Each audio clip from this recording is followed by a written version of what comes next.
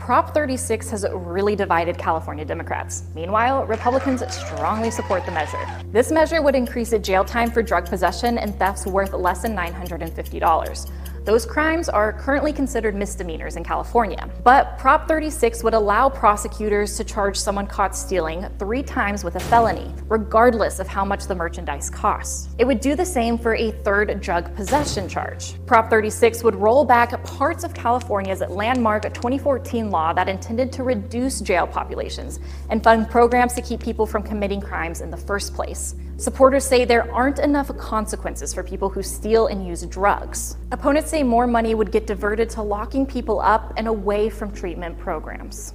Check out our other videos and go to kcra.com.